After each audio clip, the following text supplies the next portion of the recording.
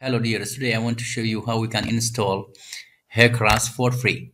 Just from Google search for HEC-RAS, download. Click here, HEC-RAS downloaders.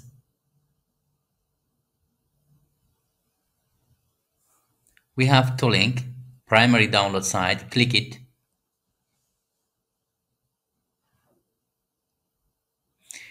Directly download started but I already have this set a file so I cancel this one but you don't have to cancel it.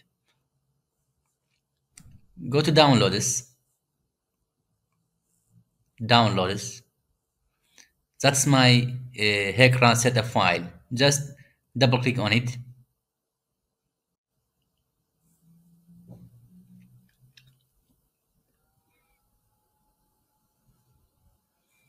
next I agree. Next next. Create desktop shortcut yes. Next install.